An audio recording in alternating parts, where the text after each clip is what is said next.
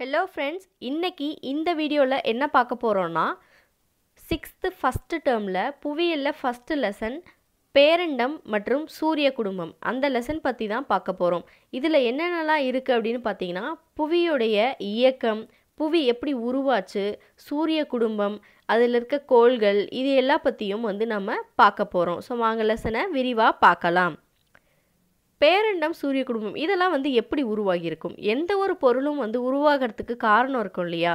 அந்த மாதிரி இந்த பேரண்டம் சூரிய குடும்பம் மற்ற கோள்கள் எல்லாமே வந்து எப்படி உருவாகியிருக்கும் அப்படின்னு பார்த்தீங்கன்னா விண்வெளியில் ஏதோ ஒரு ரீசன்னால் ஏதோ ஒரு கிளைமேட் சேஞ்ச்னால ஒரு பெரிய வெடிப்பு வந்து நிகழுது. இதை வந்து பெருவெடிப்பு அப்படின்னு சொல்லி சொல்கிறாங்க இதன் காரணமாக தான் விண்வெளியில் நிறைய பொருட்கள் வந்து உருவாகுது. விண்மீன்கள் சூரிய குடும்பம் எல்லாமே இந்த மாதிரி வான் வானத்தில் இருக்க எல்லா பொருட்களும் வந்து இந்த வெடிப்பு காரணமாக தான் உருவாச்சு அப்படின்னு சொல்லி சொல்கிறாங்க இந்த உருவான எல்லா பொருட்களையும் என்னென்னு சொல்கிறாங்கன்னா பேரண்டம் அப்படின்னு சொல்கிறாங்க அண்டம்னு கூட இதை சொல்லுவாங்க. காஸ்மாஸ் அப்படின்னு சொல்லி சொல்லுவாங்க.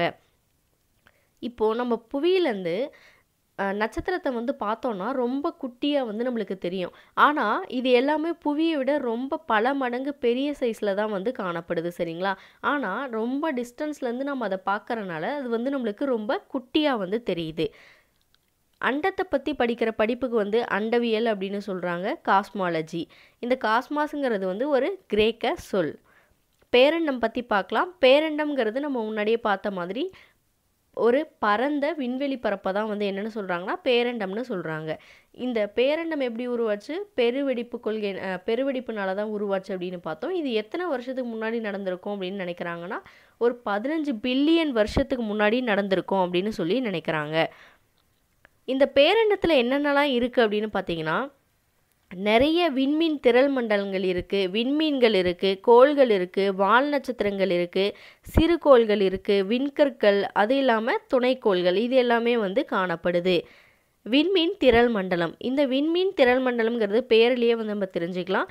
நிறைய விண்மீன்கள் வந்து ஈர்ப்பு விசையினால் ஒரு கூட்டமாக காணப்படுறது தான் வந்து விண்மீன் திரள் மண்டலம் அப்படின்னு சொல்லி சொல்கிறாங்க இந்த விண்மீன் திரள் மண்டலம் வந்து தனித்தனியாகவும் இருக்கும் இல்லை கூட்டமாகவும் வந்து காணப்படுது. ஒரு இந்த பெருவெடிப்பு நிகழ்ந்ததுக்கு அப்புறமா ஒரு அஞ்சு பில்லியன் வருஷத்துக்கு அப்புறம் பால்வெளி விண்மீன் திரள் மண்டலம் அப்படின்னு சொல்லிட்டு ஒன்று உருவாகுது. இதில் தான் நம்மளுடைய சூரிய குடும்பமும் வந்து இருக்குது. விண் நெக்ஸ்ட்டு பார்த்தீங்கன்னா புவிக்கு பக்கத்தில் ரெண்டு விண்மீன் திரள் மண்டலம் வந்து காணப்படுது. அதோட பேர் என்னன்னு பார்த்தீங்கன்னா ஆண்ட்ரோமேடா விண்மீன் திரள் மண்டலம் மற்றும் மெக்கலனிக் கிளவுட்ஸ் விண்மீன் திரள் மண்டலம். இது ரெண்டும் புவிக்கு பக்கத்திலேயே காணப்படுற விண்மீன் திரள் மண்டலங்கள்.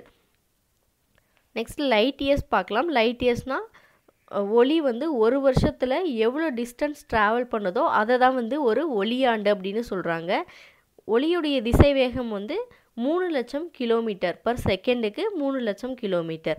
அதுவே சவுண்டுக்கு பார்த்தீங்கன்னா பர் செகண்டுக்கு த்ரீ தேர்ட்டி மீட்டர் வரைக்கும் தான் வந்து next sound travel solar system அப்படின்னு சொல்லுவாங்க. சோலாருங்கிற வேர்டு வந்து சோல் அப்படிங்கிற லத்தீன் வேர்ட்லேருந்து எடுத்திருக்காங்க. இதோட மீனிங் வந்து சூரிய கடவுள் சூரிய குடும்பம் சுமார் நாலு புள்ளி அஞ்சு பில்லியன் வருஷத்துக்கு முன்னாடி உருவானதுன்னு சொல்கிறாங்க சூரிய குடும்பத்தில் சூரியன் எட்டு கோள்கள் குருளை கோள்கள் துணைக்கோள்கள் வால் நட்சத்திரங்கள் சிறு கோள்கள் விண்கற்கள் எல்லாமே காணப்படும். எல்லாமே ஈர்ப்பு விசையால் பிணைக்கப்பட்டிருக்கும். நெக்ஸ்ட்டு சூரியன் சூரிய குடும்பத்தோட மையத்தில் சூரியன் அமைஞ்சிருக்குது. இங்கே இருக்கிற எல்லா பொருட்களும் சூரியனை வந்து சுற்றி வருது. சூரிய குடும்பத்தில் மொத்த நிறையில் தொண்ணூத்தொம்பது புள்ளி எட்டு பர்சன்டேஜ் வந்து சூரியனோட வெயிட் மட்டும்தான் இருக்குது.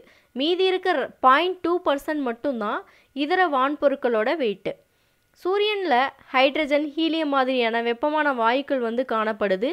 தன்னைத்தானே ஒளியை உமிழக்கூடிய தன்மை வந்து சூரியனுக்கு உண்டு. இது ஒரு விண்மீன். சூரியனில் மேற்பரப்பு வெப்பநிலை வந்து ஆறாயிரம் டிகிரி செல்சியஸ் வந்து காணப்படும். சூரிய குடும்பத்தில் இருக்க மற்ற கோள்களுக்கு வெப்பத்தையும் ஒளியையும் வந்து சூரியன் தான் கொடுக்குது. சூரியனோட வெப்பநிலை வந்து புவியை வந்தடையறதுக்கு எட்டு புள்ளி மூணு நிமிஷம் வந்து எடுத்துக்குது. சூரியன் எவ்வளோ பெருசு அப்படின்னு பார்த்தீங்கன்னா நம்மளுடைய புவி மாதிரி ஒன்று புள்ளி மூணு மில்லியன் புவியை வந்து தனக்குள்ளே வந்து அடக்கி கொள்ளக்கூடிய அளவுக்கு பெரிய அளவில் இருக்குது. நெக்ஸ்ட்டு கோள்கள். கோள் அப்படின்னாலே சுற்றி வருபவர் அப்படிங்கிறது தான் பொருள். சூரிய குடும்பத்தில் எட்டு கோள்கள் வந்து காணப்படுது. புதன் வெள்ளி புவி செவ்வாய் வியாழன் சனி யுரேனஸ் நெப்டியூன்.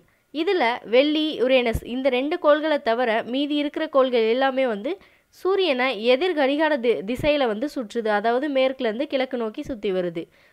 ஒவ்வொரு கோளும் தனக்குன்னு வந்து ஒரு பாதையை கொண்டு இருக்குது இந்த பாதையை தான் வந்து சுற்றுப்பாதை அப்படின்னு சொல்கிறாங்க தன்னோட சுற்றுப்பாதையில் ஒவ்வொரு கோளும் சுற்றி வர்றதுக்கு காரணம் என்னன்னு பார்த்தீங்கன்னா சூரியனுடைய ஈர்ப்பு விசை தான் இதுக்கு காரணமாக இருக்குன்னு சொல்கிறாங்க சூரியனுக்கு பக்கத்தில் இருக்க நான்கு கோள்கள் அதாவது புதன் வெள்ளி புவி செவ்வாய் இந்த நான்கும் உட்புற கோள்கள் இல்லைன்னா புவிநிகர் கோள்கள் அப்படின்னு சொல்லி அழைக்கிறாங்க.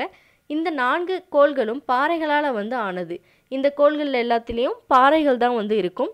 அது மட்டும் இல்லாமல் மலைகள் எரிமலைகள் தரைக்குழிவு பள்ளங்கள் இதெல்லாமே வந்து காணப்படுது.